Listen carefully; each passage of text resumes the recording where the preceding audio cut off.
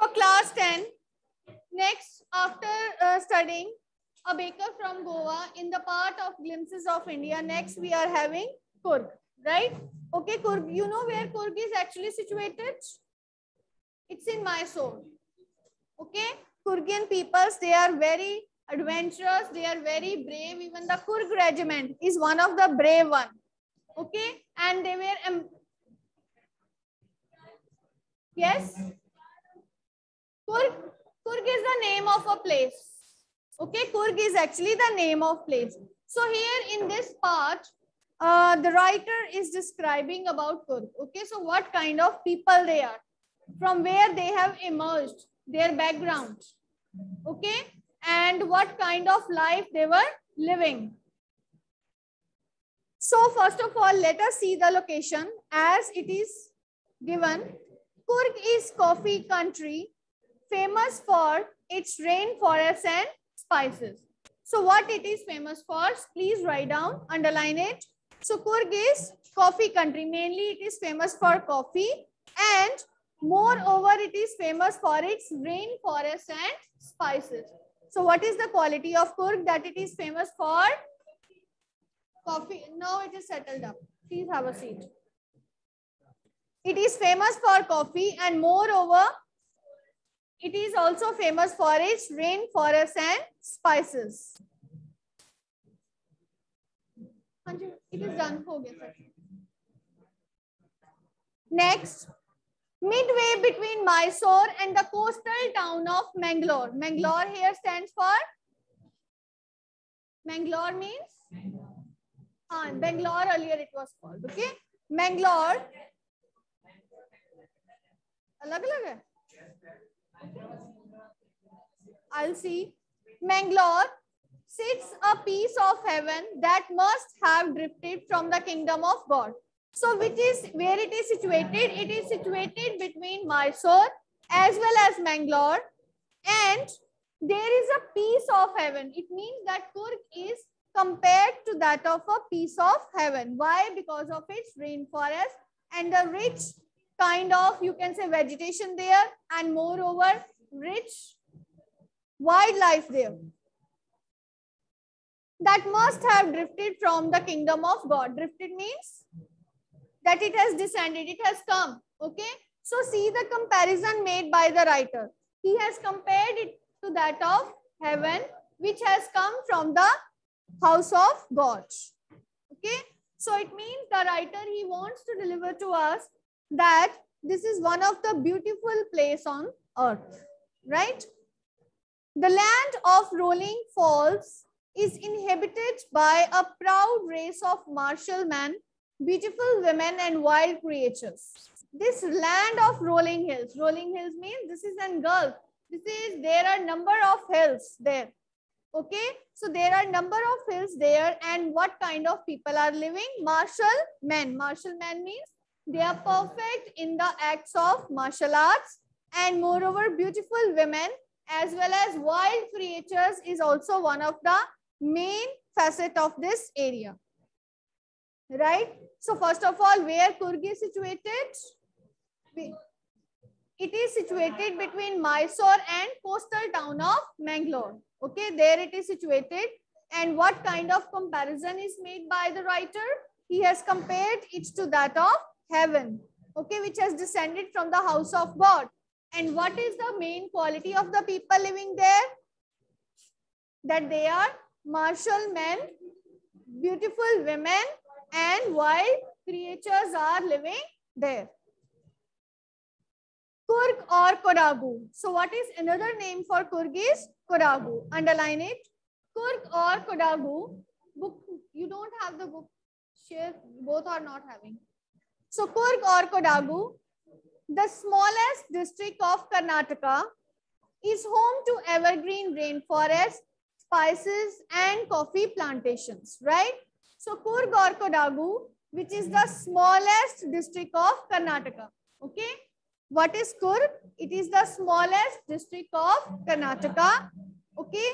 And there are a number of evergreen rainforests. Evergreen rainforests, you know, which flourish because of the rainwater. Evergreen, they remain green throughout the year. Okay. Evergreen rainforests that cover and cough, sorry, spices and coffee plantations. And it is also famous for spices as well as coffee plantations. So if the question will be asked, what Coorg is famous for? It is famous for coffee plantation, rainforest and spices. Evergreen rainforests cover 30% of this district. See, this is another fact given here. How much area is covered by evergreen rainforest there?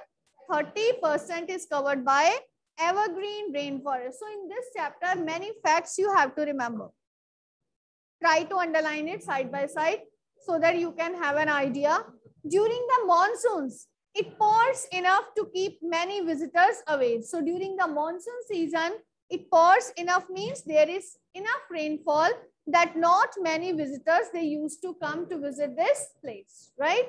So not many visitors, they are coming to this place. The season of joy commences from September and continues till March. So which is the season of joy? It commences means it starts. It starts from September and continues till March. So what is this year, this time period? This is the time period when most of the people used to visit there because this is the favorable season there to visit. So visit there during the months of September and it continued till March. Right? So the weather is perfect with some showers of showers shown in for good measure. So the weather is perfect during this time. The weather is perfect. It's sunlight also. Moreover, some showers. Some showers means sometimes at sometimes it rains. Sometimes it rains and this is producing a good cooling effect there. So this is which is the favorable weather to go there. It is between September and it continues till March. September till March is the favorable season there to go. What it is famous for? It is famous for its evergreen rainforest, spices as well as coffee plantation. It is famous for these. The weather is perfect with some showers shown in for good measure. The air breathes of invigorating coffee. What is the meaning of invigorating? It means, huh? Yes, irresistible and producing a good smell. So the air breathes of invigorating coffee. So it is always giving a smell of coffee. Coffee estates and colonial bungalows stand tucked under tree canopies in prime corners. See, coffee estates you know estate, large piece of land which is divided into further sections. It is owned by a man which is called as estate. Okay. Coffee estates and colonial bungalows means colonial means at some of the points, some bungalows they stand there. Okay. It means they are rich also. They have big bungalows and they are tucked under tree canopy. What is canopy? Yes, the tree the that part of the tree which provides shade. This is the canopy. So many trees can, okay, they stand around and under the canopy it stands a bungalow. So beautiful scene is produced here. Okay, that how people live in close connection to that of nature. Rich vegetation is prevalent there. So first of all, let us revise that where Coorg is situated, it is situated between coastal town of Mangalore and that of Mysore. So what the poet has compared Coorg to? Piece of heaven which has descended from the kingdom of God. What Coorg is famous for? And spices. Coffee, rainforest as well as spices. Okay. Um, yes. But we have to give specific details according to the chapter okay this is nature to fir general jayega na next the season of joy oh, sorry what is the favorable season to go there it is between september till march September till March is the favorable season. Okay. Why this season is perfect? Because there is less rainfall and people used to visit there. Now, the fiercely independent people of Coorg are possibly of Greek or Arabic descent. Descent means they have descended from, they have got its origin from. So here is the answer where the Coorgian people, they have descended. Very important. Mostly this is asked. Okay. From where they have descended? The fiercely independent. This is one quality of the people of Coorg that they are fiercely independent, independent in nature. And they have been descended from Greek or fiercely strongly. Okay. They have it their origin from Greek or Arabic descent. Means basically their roots are from Greek or Arabs. Then how these Greeks and Arabs, they have come to India? The next question is here. Why they have settled here? See, as any other, as one story goes, a part of Alexander's army moved south along the coast and settled here when return became impractical. These people married among us the locals and their culture is apparent in the martial in the martial traditions, marriage and religious rites, which are distinct from the Hindu mainstream. See, as one story, it tells what it tells that how these people settled there, if they were Greek or they were Arabs. So what happened that part of Alexander army, when Alexander was on its way of invasion to the world, okay, part of Alexander's army, when it has come there, they moved along the south coast there. Okay. But because of one or the other reason, their return was not possible. They were not able to go back. So naturally, there was no other option left with them. They have to settle there. They settled there. And now in order to propagate their race, in order to propagate further their generations, they have to marry. And they married the local women there. Okay. So after marrying the local women there, so what happened? Naturally, there was a blend of culture, mixture of culture of both. And naturally, the culture is showing the qualities which is away from the Hindu mainstream. Because the women, after getting married, they were adapting the culture of their husbands. And moreover, this culture, their culture is also influenced by the local prevalent traditions. So this is the reason from the Hindu mainstream. Okay, from the actual Hindus, their culture is a bit difference. Okay. So see here, these people married among us the locals and their culture is apparent. Apparent means naturally it is, but obvious. In the martial traditions means because they belong, they have their origin from the, no, they have their origin from the martial arts. So this is the reason why they were perfect in martial arts and marriage and religious rites. So their traditions, they were quite different from that of in case of marriages as well as other religious practices that were going on. The theory of Arab origin draws support from the long black coat with an embroidered waist belt worn by the Kodavus. See, this is one that how the Greek people, they came to settle there. And if we say that they are from Arabic origin, how they were from Arabic region. It is because of the reason that they were wearing a long coat like that of Arabs. Okay. And this coat is having embroidered waist belt. Yes, you can see in the picture. Okay, it is shown in the picture. Left one. Okay. And there is embroidered waist belt. Okay. Kudavu's word is used for Coorg people, people of Coorg, another name. This we have read in the starting of the chapter, right? And known as Kupia. What is this waist belt known as? Kupia. Okay. And it resembles the kufia worn by the Arabs and the Kurds. Okay. This is in resemblance to that of this dress which is known as kufia which is worn by the Arab people as well as that of the Kurds. Right? So now you got to know how they have Arabic as well as Greek origin, how they have descended from that.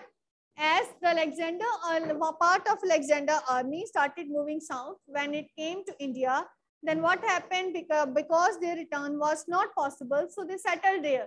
In order to propagate their race, they married the local women there and their culture is showing the effect of, uh, it is showing the effect of blend of both the cultures, okay? And which is uh, quite different from that of Hindu mainstream. For Arabs, why we say that they have their Arabic origin? It is because of the reason that they were wearing a long coat like that of Arabs, wearing a wearing an embroidered waist belt, which is known as kupia. And it what this long coat it resembles to Raghav? No, it resembles to kufia, which is worn by the Arabs and that well as that of Kurds. So Coorg, Coorgi homes have a tradition of hospitality. Hospitality means extending a helping hand, showing good respect to the visitors. Coorgi homes have a tradition of hospitality. So people of Coorg, they pay much respect to the guests and the invitees and they are more than willing to, to recount numerous tales of valor, valor means bravery, related to their sons and fathers. And they are famous as there are number of, you can say, tales, stories which are related to that of their fathers as well as sons. It means that kurgan people, they are very much brave. They are very brave in nature. They are quite brave in nature. So this is the reason they are considered to be one of the brave regiment also. The Coorg regiment is one of the most decorated in the Indian army. And the first chief of the Indian army, General, Kat, General Katappa was a Coorg. So there is a one part of Indian regiment which is called as Coorg regiment. Okay, it is one of most embellished one, decorated one. Decorated one in the sense wearing decorative clothes. Okay, and moreover, the first chief of the Indian army, General Katappa, he was also a Coorgi. He's also from Coorg. Even now, Kodavus are the only people in India permitted to carry firearms without a license. See, this is the privilege enjoyed by them that they can carry arms without any license because they are always considered to be brave and they have built such kind of, you can say, belief among the other people that they never use it for false purpose.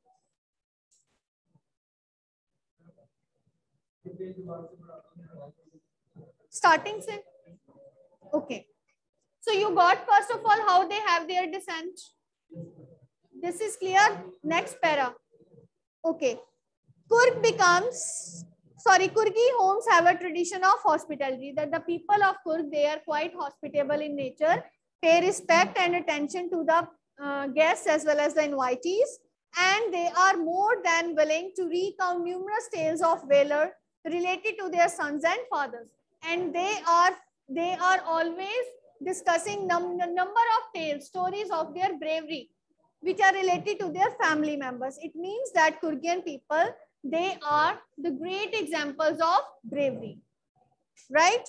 And the Coorg regiment is one of the most decorated in the Indian army. Coorg regiment is one of the most decorative, wearing decorative clothes, having special code of, you can say, clothes to wear. Okay, so this is the reason why. And the chief of the Indian army, General Katappa, was a Coorgi. Cariappa. Okay, it is IA. Cariappa, he was also a Coorgi. Okay. Even now, Kodavus are the only people in India who are permitted to carry firearms without any license. Because if you go to any other part of the world, are they, uh, is there any permittance or is it is permitted that you will carry a fire, uh, carry an arm without license? No. People have to spend large amount of money to get the license. Okay, but these people, they can carry the arm without any license. Why? It is because of the reason that they are quite brave in their nature. So till here we will do today. Okay, as the time is going to be over and tomorrow we will continue further.